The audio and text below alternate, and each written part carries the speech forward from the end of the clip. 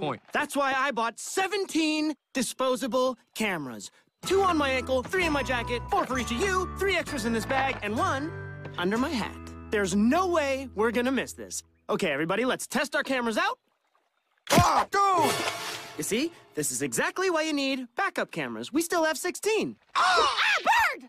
15. Okay, guys, I repeat, don't lose your cameras. Wait, lose the cameras? Don't! Dude, I just threw two away. 13. All right, we still have 13 cameras. 12. We have 12 cameras. So what's the plan? Throw more cameras overboard or what? No! No!